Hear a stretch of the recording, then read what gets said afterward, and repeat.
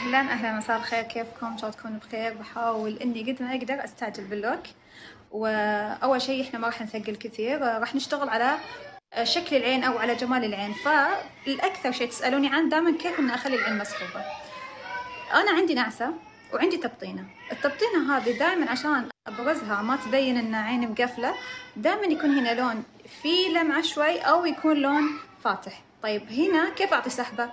عندي مكان النعسه هذا. أحط فيه مثلا لون بني غامق أو أسود شوي واحاول إني ارفعه على فوق هذا يعطي العين ارتفاع. وتجين تنظفين بالكونسيلر. هذا يبين العين كأنها الشكل عرفتوا كيف؟ الشغله الثانية آه عندي هنا المدمع. هذا المدمع حاولتي تبرزينه أو حاولتي تخفينه؟ كل واحد يعطيك شكل. أحيانا لما تبرزينه بلون فاتح يبين لك العين لوزية أكثر. أحيانا لما تحطين اللي هي آه لما تحطين تثقلينه بال إيش فيه؟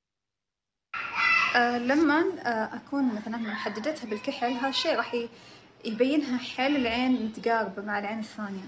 آه وخصوصا حلوة اللي تكون عندهم عظمة الأنف عريضة راح تعطيهم تقارب أكثر وتبين شكل العين مرسوم أكثر. أنا بالنسبة لي لأن أساسا هنا العظمة عندي نحيفة فلو حددتها وخصوصا إنها طويلة ونازلة فراح تبين عيني كذا نازلة على تحت بزيادة. فعشان كذا أنا ما أغلب الحين ما أحددها. طيب بنبتدي أول شيء. فعندي اثنين كونسيلر من سيفورا آه واحد آه اسمه آه واحد رقمه ثلاثة وثلاثين وواحد رقمه ثلاثة عشر. طيب اللي رقمه ثلاثة وثلاثين شوي جاي على غامق فراح أحطه هنا. طيب. واللي لونه فاتح راح يكون تحت الحاجب عشان أبرز الحاجب. وأرتبه ما أكثر شوي بس. طبعا كبداية أول شي بستخدم فرشاة تكون كذا فلات ببتدي باللون الفاتح. أحاول أوصل شوي هنا.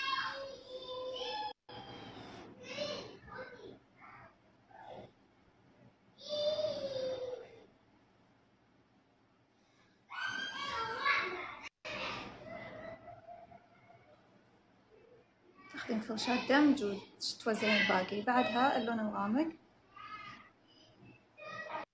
يفضل الكمية تكون أقل من كذا بس أنا عشان تبين بالتصوير لكم. ثقلت شوي.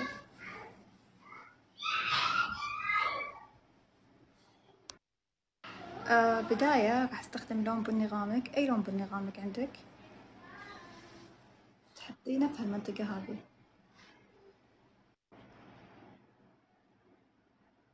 كأنه ترسمين لاينر.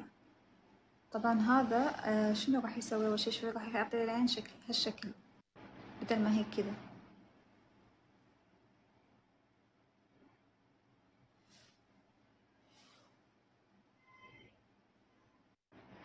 بعدها هنا نفس الشيء.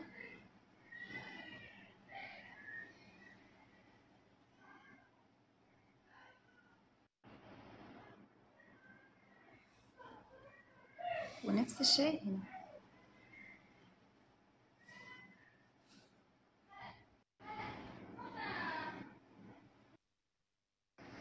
طيب بعدها شو تسوين؟ تاخذين فرشاة دم تحطين فيها لون انتقالي. نتفة يعني لا تكثرين. حاولي إن أنت تجين عند اللون هذا.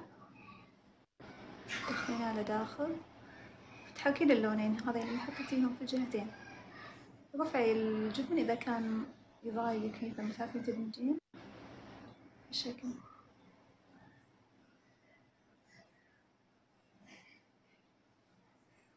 ما تجين على هالمنطقة هذه؟ نهائيا.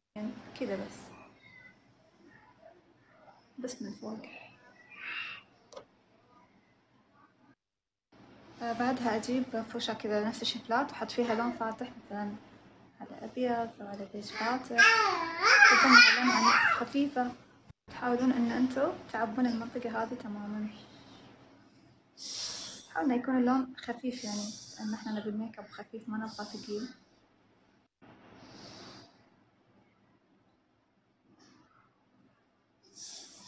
الباقي من الفرشاة نحطه هنا. بعدها ننظف في ال concealer المساحة هذه.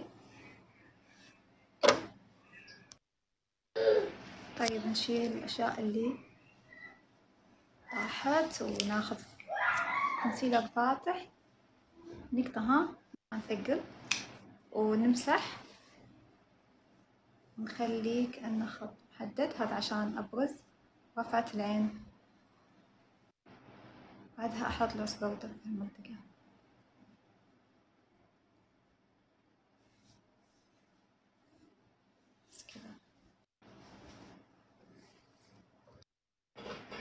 بعدها أحط لون كذا بيج فاتح. تحت الحاجب. إلين جلسة إلين. إلين. آه ما لقيت تلعب الفرنج لايت شنو أسوي يعني؟ يلا. طيب بعدها بن آه بنحط كحل بيج داخل. آه بنستخدم كحل بيج داخل العين بس بنات ما راح أثقل نفس العادة نفس من أجي أسوي ذكاء أخف بيت ناعم ومسكوا الرموش طبعا حاولوا إن أنتم تستخدمون كسارة للرموش اللي آه، ما يبون يركبون مثلا يبون يكون look ناعم. Okay. و تحاولون إن أنتم تعبون الرموش من داخل يعني كذا تمشطونها بقوتكم. طبعا ما استخدمت المسكة ال الكسارة هي اللي ترفع رموش زيادة أنا أحب أثقل المسكرة شايفين كيف؟ آه يعني ما سوينا شيء بس مجرد إن إحنا عبينا هنا بلون فاتح وبني هنا وهنا بس حطينا في كل مكان طقة شوي. ومع مسكرة وبس كفاية يعني. أساسا يطلع شكل العين حلو. طبعا أنا بعبي شوي بس عشان إني شوي أرتب من شكل الحاجب ما راح أثقل نفس الشيء. عشان أبغى الحاجب يبين طبيعي وهنا بس. راح أعبي شوي.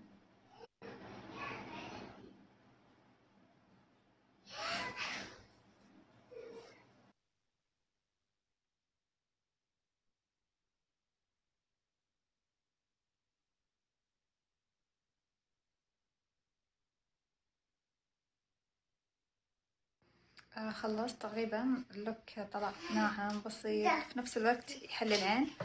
آه أنا راح أركب رمش طرف وبصور لكم ال look عشان تشوفونه مع رموش آه بنات اللي عينها واسعة وفيها بروز وكذا لو تحط كحل بني داخل العين يعطيها شكل أجمل. وفي نفس الوقت اللي عيونهم واسعة وما شاء الله فيها بروز وكذا يفضل إنها ما تلبس عدسات من هالألوان يفضل إنها تاخذ درجات البنيات عسل كذا أحلى